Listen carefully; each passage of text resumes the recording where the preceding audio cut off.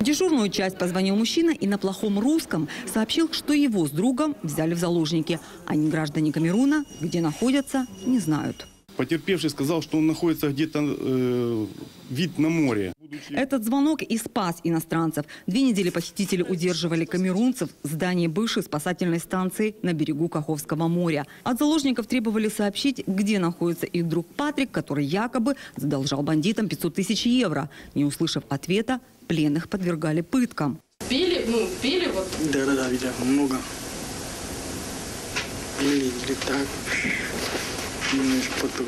Очок поставив нас свестило наушники, как у милиционера. Постоянно, каждого дня наушники у нас были. Мы спали только с, с браслетом. На- Нам представляли работать и что делать. кушать давали вам кушать? Кушать давали, ну, просто чтобы жили.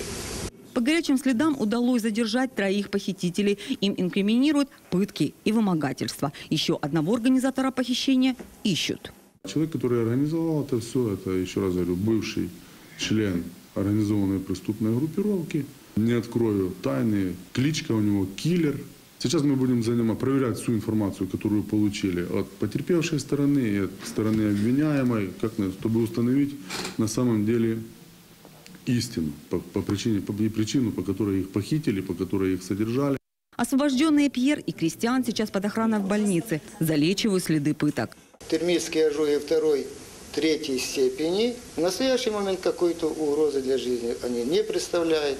А дежурных милиционеров за бдительность наградили. Лично генерал вручил по полторы тысячи гривен. Анжела Слободян, Олег Слободян. События Херсонская область.